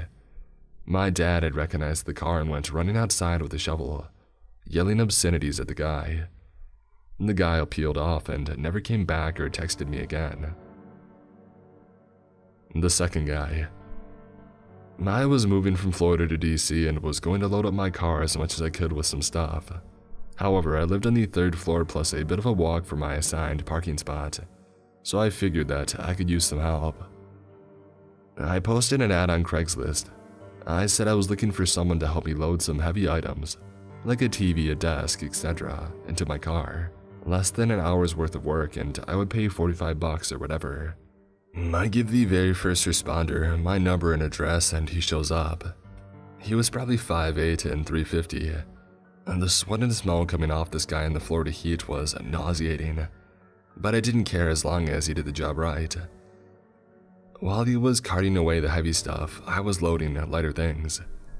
Whenever I would go upstairs to grab another load, he would hurry after me so he could walk up the stairs behind me. I had the door propped open so he didn't have to worry about me needing to unlock the door for him or anything. And then he would follow me up the stairs and he would make these weird grunting noises, but I assumed it was because he was out of shape. Eventually, everything's loaded properly, save for some sweat smears on my stuff. I pay him and he drives off. I go back in my place to finish loading and cleaning. I go out maybe 45 minutes later to put out another load into my car, and I see his truck in the back parked across the street from mine. He's sitting in the driver's seat looking at me. When he sees me notice him, he looks away. I walk over to his window and knock. He rolls it down and asks if he needs any help or if he was lost. I was really confused as to why he had come back, and I knew that he didn't live near me. He didn't say anything, just rolled his window back up and drove off. Whatever. Of course, five minutes later, my phone starts blowing up. I don't recognize the number, so I don't answer the calls. And then the text messages start rolling in. What are you up to tonight? I can come back over. I get this sinking feeling it's the Craigslist guy again. He had never called me about the job when I gave him my number, so I didn't know what his number was. And then I realized he was looking at my dress the whole time when I was walking up the stairs. I immediately felt like a total idiot for wearing a dress that day. He then started dialing my number over and over again. I didn't know how to do the block number thing through Sprint, so I just turned my phone off. Later, I was with my guy friend grabbing a bite to eat and turning my phone back on. And I got another text from the guy saying something that I probably shouldn't say on here. I showed the text to my friend and I told him the story. The Craigslist creep then proceeds to start blowing up my phone again, so my friend answers and tells him to stop trying to contact me. I moved away the next day, so I never had to worry about him randomly showing up in his truck again. Since then, I bought and sold stuff on Craigslist, but I always make sure people meet me at a public address. This happened five years ago today, marking this experience's fifth anniversary. At the time, I was a shy, religious, sheltered college kid whose social interactions are very dependent on school related activities. Today, I'm still pretty shy and barely have any social interaction nowadays, but I digress. Being the religious person that I was then, I had requested that my family and I attend Mass on the last Sunday of the year. Sunday came and Mom was the only one willing to accompany me. We attended the last Mass of the day, which was around 6 or 7 in the evening, because it was too hot in the afternoon, and I cannot be bothered to wake up early for the morning Mass. When we had arrived, the Mass had already started and all the pews were occupied so we stood by the very back of the church. The Mass itself was pretty average, except for a lady in the back of the church who fainted in the middle of the priest's homily. I didn't feel anything was wrong during the whole Mass. Usually, after the Mass, when the priest would be standing before the altar, people would approach him to receive his blessing. I had planned to do that, meaning I had to cross the whole length of the church to get to the priest. As I walked on the aisle, I suddenly felt like I was being followed. In the years after this incident, I felt what being followed by friends trying to catch up on me feels like, and that did not match what felt when I was walking down the aisle. I was hoping that my instincts were wrong, but I was quickly disproved when a man came up to my left side. He was taller than I was, I'm 5'2 and he was around 5'7. I couldn't pinpoint his age, but I can guess he was older than I was, maybe early 20s. I didn't know who this person was, and I didn't know what he wanted from me. He then started asking me personal questions like my name, my age, and where I lived.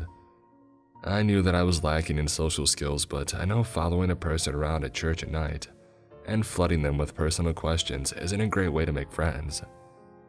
At this point, I was uncomfortable I was still far from the priest, but was too polite to just simply ignore him. I replied to his questions, but all were with false or vague information. I gave a fake name, a different age, stuff like that. When I did approach the priest, I tried to get his attention to maybe get the guy to leave me alone. But the priest looked like he didn't even care whose forehead his knuckles were touching at the time. Feeling betrayed, I turned to look at the other people nearby but everyone else had their attention on their own business. I couldn't really blame them for that. My last resort was, of course, my mother. I turned around and speed walked my way to the back of the church. But as I neared the spot mom and I stayed earlier, she wasn't there anymore. I panicked and started looking around frantically. The guy was still following me and now asking me where I go to school. I didn't want to talk to him anymore and I didn't want him near me anymore. In my panic, searching for my mother, I caught a glimpse of her form sitting at one of the pews at the back. I darted straight to her and squeezed my words out. With no pause, that I was being followed and we needed to book it out of the church. Mom, understandably surprised, looked at me, then at the guy who was still by my side and then back at me. She then stood up, took my hand, and walked out of the church with me. By the time that we got to the car, my heart was racing and I was shaking a little. Being the nice person that I was, I tried to rationalize that maybe the guy really had good intentions. My mom would tell me the guy was probably just awkward or socially inept, but everyone else who I'd shared the story with thought otherwise. For a time, I wouldn't go near that area without my brother, and I pretty much lost my dedication to my faith over time because of this experience. So, to the creepy guy who made me feel unsafe in the house of God, let's not meet.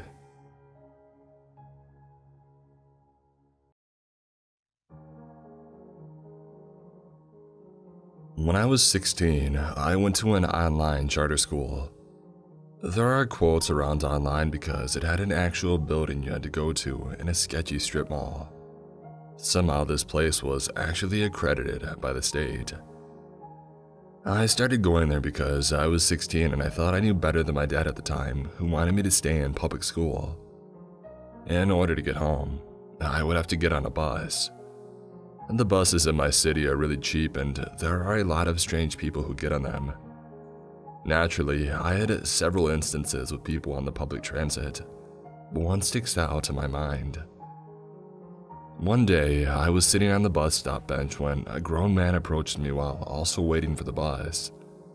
He was tall, older, and wore dirty clothes. His teeth were all yellowed, which is the second most distinct thing that sticks out to me now besides his mustache. More than likely, he was homeless. The first thing he said to me after sitting just a little too close was, Hi, what's your name? It was weird and a little awkward, but nothing too bad. Despite this, it was setting off creep alarms in the back of my head, so I gave him a nervous smile and a fake name. There was no way I was going to give this guy my real name.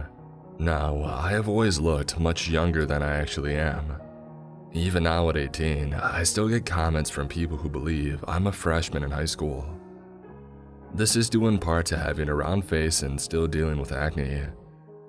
This is what makes what happened next extra weird. He got closer and told me, You know, you're very pretty. I wasn't used to compliments at the time to a certain extent, I'm still not. However, I knew I didn't want them from this guy. I just continued smiling nervously and scooted away from him on the bus stop bench. I remember his breath being pretty rancid, and him trying to scoot closer to me still. You got a boyfriend? Was the next thing he asked. I'm gay, but I did answer yes just to his question. At the time, I was actually trying to force myself to date a close friend who was a man and liked me, so it wasn't a total lie. Even if it wasn't, though, I still would have said yes. But this did not deter him. He tried to touch my hair more than once, rested his hand on my knee and tried to move it to my thigh, and other weird stuff. The next thing that he pressed me for was my number. I didn't actually believe this guy had a phone, but in case he managed to find a payphone in the year 2017, I decided to give him a fake number just in case. I was dreading getting on the bus, where I would have to ride all the way home to an empty apartment for hours with a window that had a broken lock.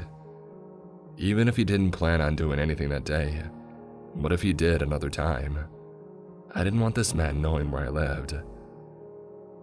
When the bus finally got there, after what felt like forever, I was terrified but unsurprised to find that he got on the same one. I made a beeline for a seat next to an old woman where he couldn't sit next to me he sat in a close by seat and kept glancing at me for what felt like forever until I had an idea. The next stop was right by a convenience store where a friend of mine named James worked. I didn't know if he would be working at the time, but it was honestly my only hope. And if that didn't work, I could at least go inside and call the cops and my mom. When the bus stopped, I got off of it and ran to the store as fast as I could. Sure enough, James was working. I checked to see if the guy had followed me to discover that he had and was walking towards the store. I quickly explained to James the fact that I had been followed by a creepy older man, and I didn't know what to do. Now, he wasn't a bodybuilder or anything, but James was a big guy. Not the kind of guy you want to mess with. And he told me that he would take care of it.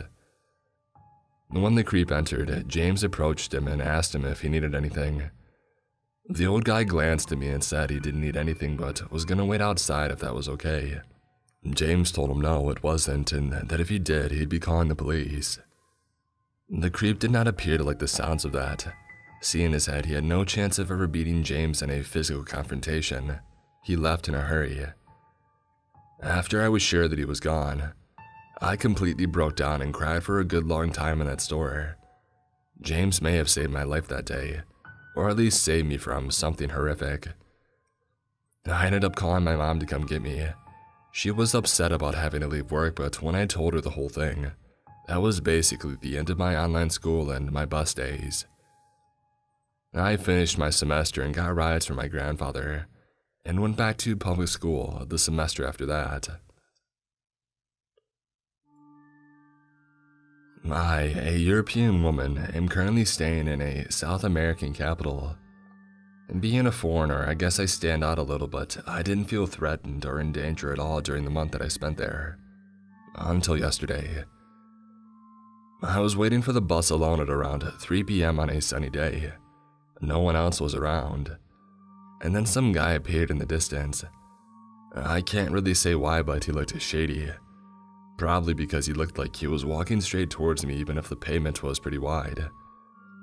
I pretended that I didn't see him and waited for him to pass by, but he came to me, asking for money, and maybe something else that I didn't understand.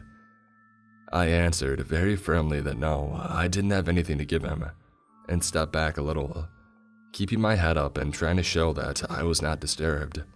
He kept coming closer to me, making me feel very uncomfortable, and started pointing his finger at my face, saying, I'll kill you, I'll kill you, repeatedly.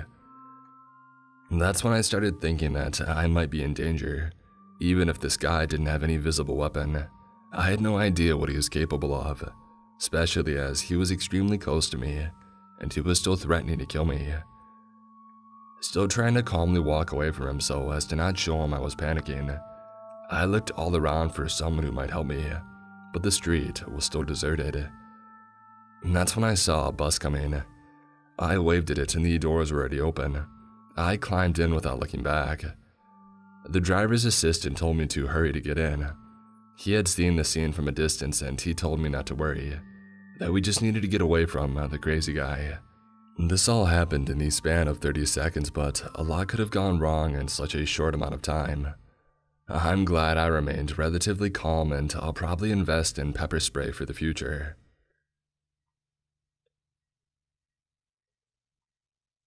To paint a picture, I'm a guy who loves having long hair, and when this happened, I was not yet able to grow facial hair as well as I do now.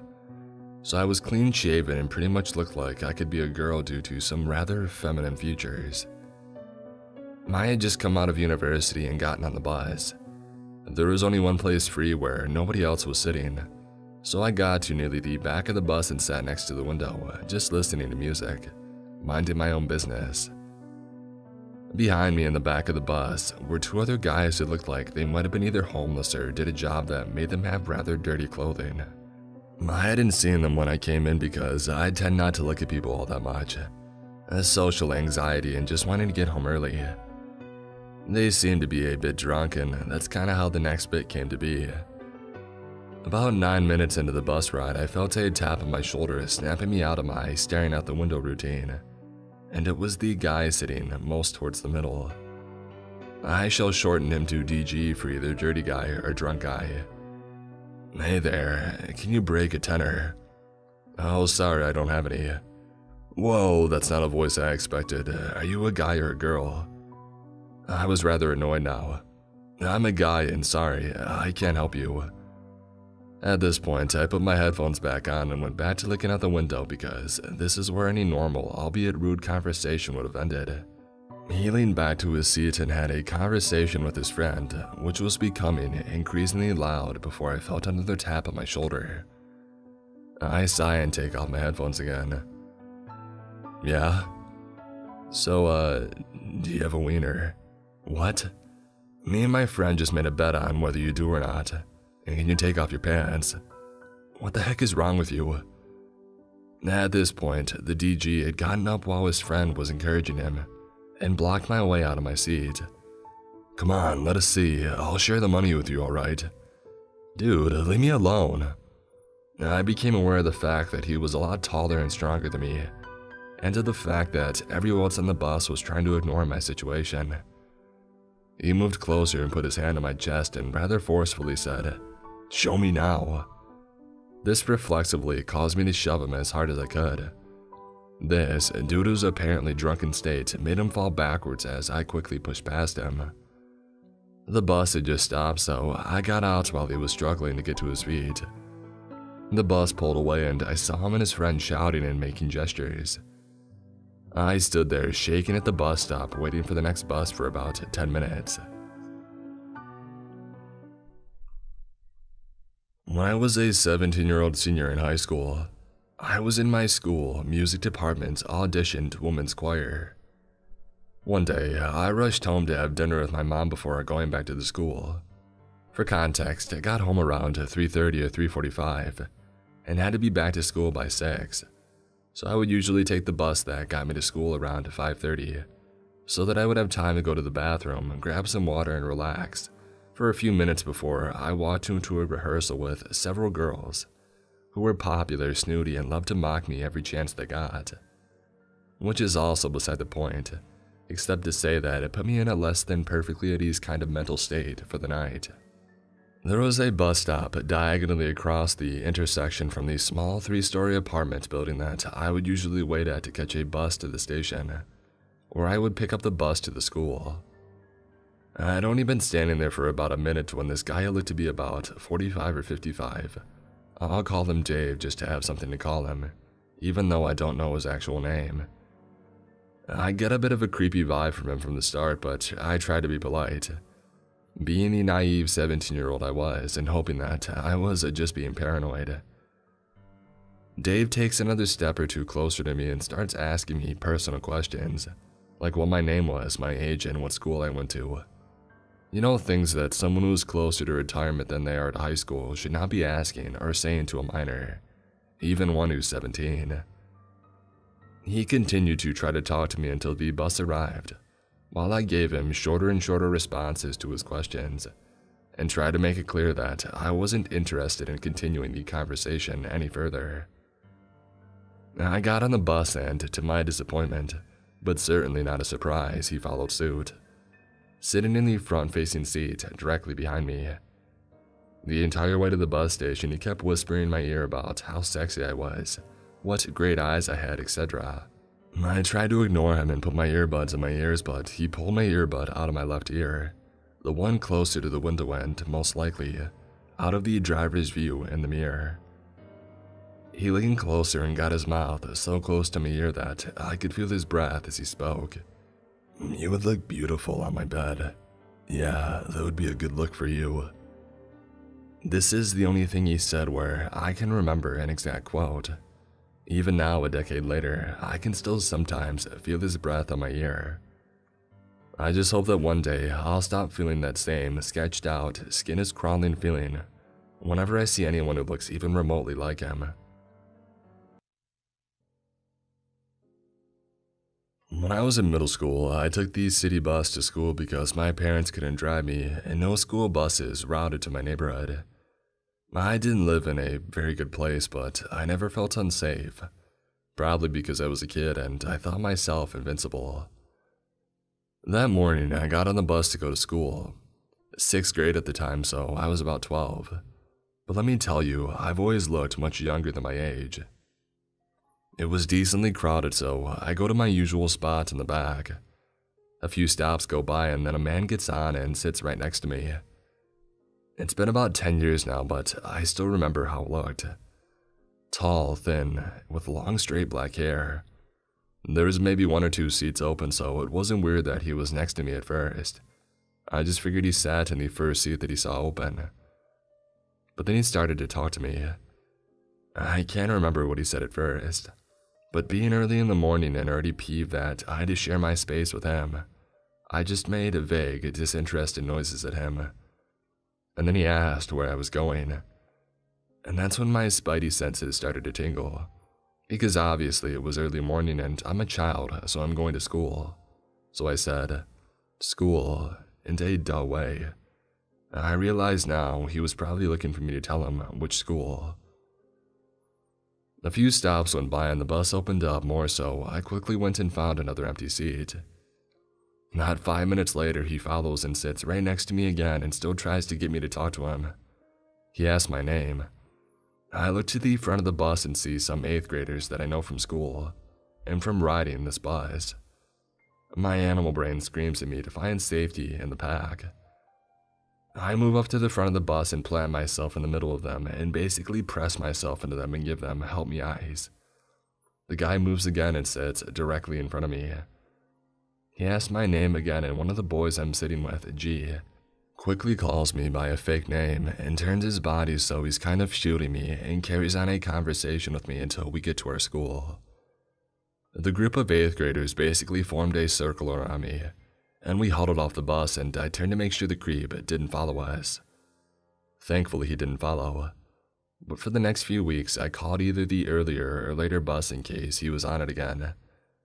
And since the bus stop was right in front of my school, I was afraid he knew where I went and would show up. But I never saw him again, thankfully.